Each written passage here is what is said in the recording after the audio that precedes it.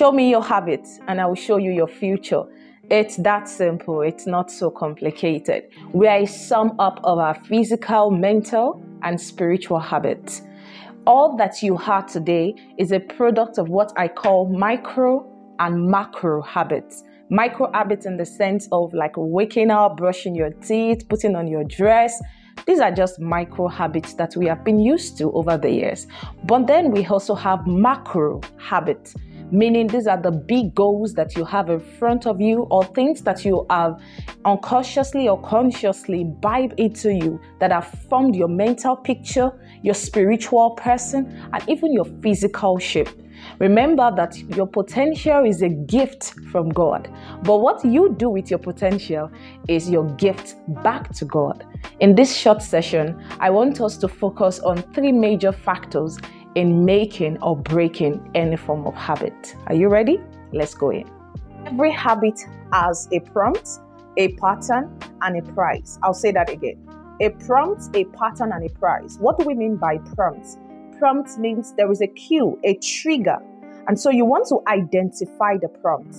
You want to ensure that what is that thing that kickstarts, you know, that sets me upon this path you want to take an analysis of previous times when you have found yourself exhibiting this habit and you want to really take time to identify the prompt.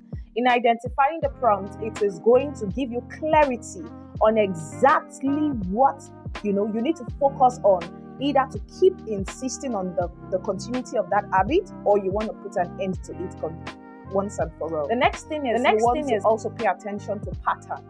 Now, prompts will always birth patterns. And what do I mean by pattern? Patterns talks about a consistent way of doing a particular thing.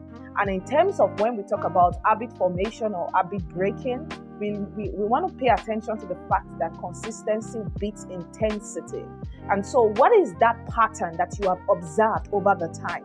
What have people said about this habit that you have showcased? And so that will also give you a clue on how to what to necessitate it, either to break it or to continue of it. Every habit and the last is prize It means there is always a satisfaction. There's a feeling that you get that makes you feel that you know this is what it. So you want to also pay attention to that. If you want to continue in that habit, it means that you want to magnify the prize. You want to make the prize more attainable so much so that it fuels your consistency. But if it, you are looking at breaking the habit, then you want to minimize the price or you want to cut it out finally, so much so that there's no motivation for you to keep up doing this habit.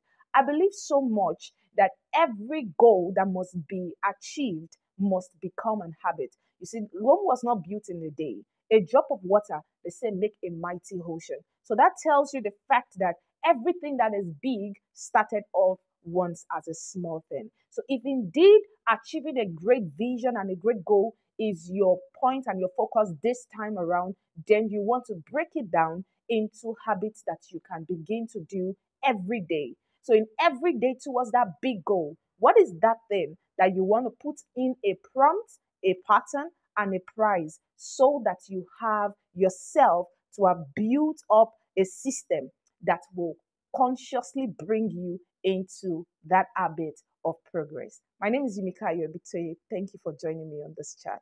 Have a good day.